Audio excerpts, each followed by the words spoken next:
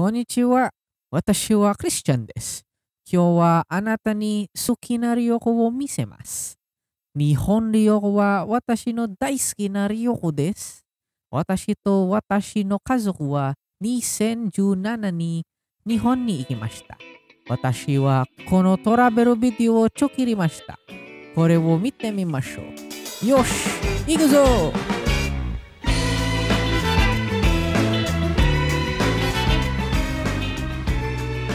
セブパシフィックのプロモがありました。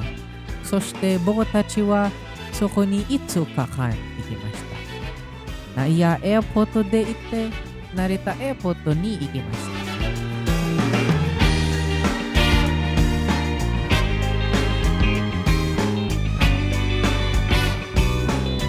た。それから電車に乗りました。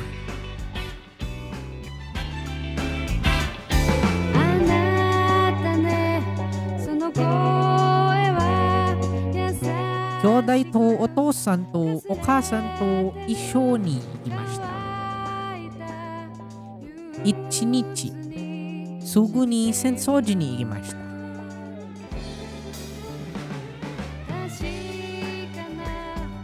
大きいどうぞです。そして、渋谷スカランブル交差点に行きました。その時はハロウィンでした。あの日、たくさんのコスプレイヤーがいます。回れ回れ2日、違うの一日中ディズニーシーに行きまし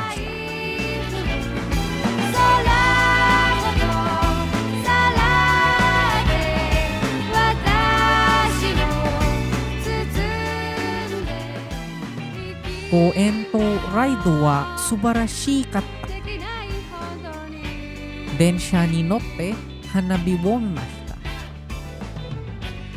あー、すごい綺麗じゃん。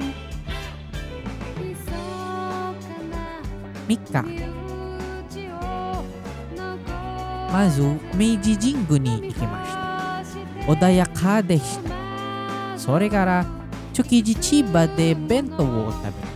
昼食に刺身とイクラを食べて大変美味しかったでした。夕食は黒豚と和牛を渋谷の近くで食べました。帰りに東京タワーを訪ねました。4日、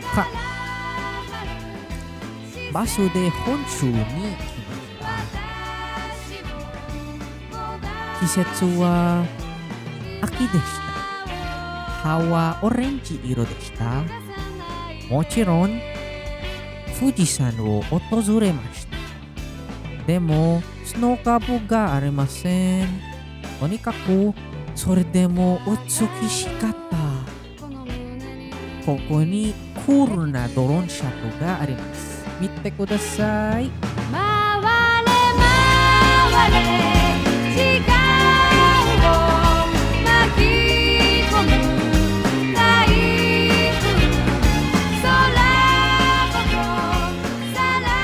おい、それは私です。あの帽子をお土産に買いました。これで私の日本旅行は終わりです。私は旅行が大好きです。早く日本に帰りたいです。さあ、また会いましょう。ありがとうございました。それでは。